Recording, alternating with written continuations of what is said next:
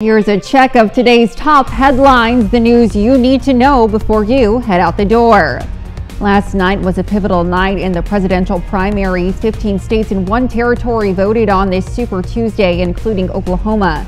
Donald Trump and Joe Biden continued their dominance. Libertarian candidates also competed for a spot on Oklahoma's November presidential ballot, with Chase Oliver winning. Nikki Haley is expected to announce her withdrawal from the nomination later today. Kansas Governor Laura Kelly announces more than 14 million in funding to improve 37 airports in the state.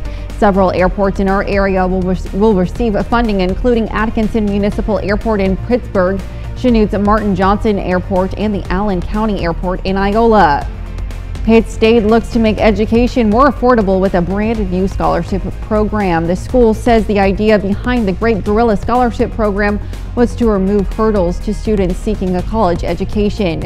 ACT test scores are no longer required. Awards are based on GPA. The Great Gorilla Scholarship Program begins this fall.